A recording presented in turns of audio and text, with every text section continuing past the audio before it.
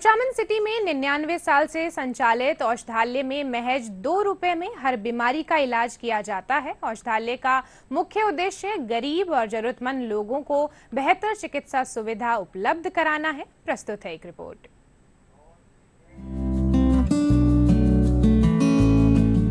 यह नज़ारा है कुचामन सिटी के श्री सेवा समिति आयुर्वेदिक औषधालय का, जिसकी स्थापना साल 1925 में हुई थी।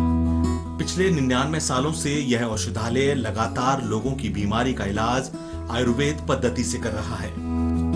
इस औषधालय में आज भी प्रतिदिन दर्जनों लोग इलाज के लिए आ रहे हैं। साहित्यकार नटवर लाल वक्ता ने बताया कि सन 1920 में इन्फ्लुएंजा नाम की बीमारी का प्रकोप हुआ। उस समय कुचामन में स्थानीय लोगों को इस बीमारी से बचाने के लिए विभिन्न जड़ी बूटी से काढ़ा बनाकर लोगों को पिलाया गया। इसके बाद 1925 में जन सहयोग से एक छोटी जगह पर औषधालय का संचालन शुरू किया गया। और साल 1940 में इस भवन में सेवा समिति आयुर्वेदिक चिकित्सालय को स्थानांतरित कर दिया गया।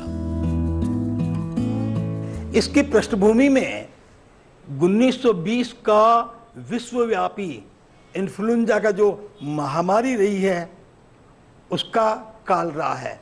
जब सरकारी व्यवस्थाएँ फेल हो गई थी। ब्रिटिश शासनकाल के अंतर्गत ये जो क्षेत्र था, उसमें कोई संभालने वाला नहीं था। उस वक्त कस्बे के कार्यकर्ताओं ने इस नगर की जनसेवा की थी। वही कार्यकर्ता बाद में श्री सेवा समिति की स्थापना में सहायक हो गए। ये इसकी स्थापना का वरदान है। इस आयुर्वेदिक चिकित्सालय की खास बात यह भी है कि यहाँ महज दो रुपए में रोगियों को उपचार उपलब्ध कराया जाता है। गरीब और जरूरतमंद लोगों के लिए यह औषधालय वरदान साबित हो रहा है। इस आयुर्वेदिक चिकित्सालय में लगभग 110 प्रकार की विभिन्न औषधियाँ रोगियों के उपचार के लिए मौजूद हैं, जिनमें कई दुर्लभ और महँगी औषधियाँ भी शामिल हैं। श्री सेवा समिति कुचामन सिटी ये लगभग निन्यानवे सौ साल से चल रही है। और ये पूरी भामाशाहों के सहयोग से चल रही है। यहाँ हम दो रुपए मात्र के अंदर प्रतिदिन की दवा, पाँच, दस रुपए के अंदर पाँच दिन की दवा देते हैं। और यहाँ हमारे करीब 114 प्रकार की दवाइयाँ जिनमें कई कठिन, दुर्लभ, जड़ी बूटियाँ हैं, वो भी हम लोग यहाँ देते हैं। औषधालय का संचालन शहर के लोगों को जोड़कर बनाई गई एक समिति करती है। समिति द्वारा शहर में विभिन्न मेले और उत्सवों का आयोजन भी किया जाता है। वहीं कुचामन के इस औषधालय में सेवा देने वाले कर्मचारियों को मानदेय का भुगतान समिति की ओर से किया जाता है। वैद्य कृष्ण गोपाल तिवारी कहते हैं कि आयुर्वेद चिकित्सा पद्धति हमारे देश की ही चिकित्सा पद्धति है और ये एलोपैथिक से कम खर्चीली और ज़्यादा विश्वसनीय है।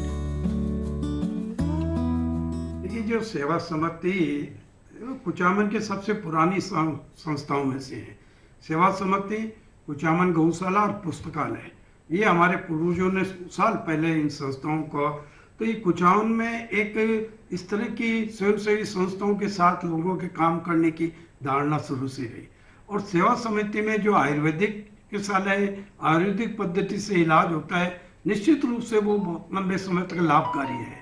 और बहुत कम शुल्क में, दो रुपए की राशि में अगर कोई व्यक्ति को आज के ज़माने में इस तरह की दवाई की और जाँच की सुविधा मिल जाती है तो बहुत बढ़िया बात है। भाई ये गरीब जनता की सोचता है। ये माने आज ये तो जैसे वाराणसी के अंदर गोरखपुर के अंदर जैसे गीता प्रेस गोरखपुर है वो एक भारत की धरोहर है। उसी प्रकार ये भी एक सौ वर्ष से ये जो समिति चली है तो ये भी एक कुचामन की एक धरोहर है। मैं तो कह रहा हूँ कुचामन को ये घमंड उनको ये गुमान होना चाहिए कि कि हमारे यहाँ के पूर्वज इसको स्थापित कर गए पुस्तकालय स्थापित किया। माने कई चीज़ें उन्होंने अपने जो पूर्वज थे, उनका माने सोच कितना तगड़ा था।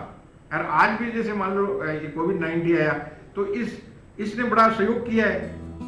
प्राचीन समय से संचालित इस आयुर्वेदिक चिकित्सालय से आज कई गरीब लोगों को बहुत सहयोग मिल रहा है।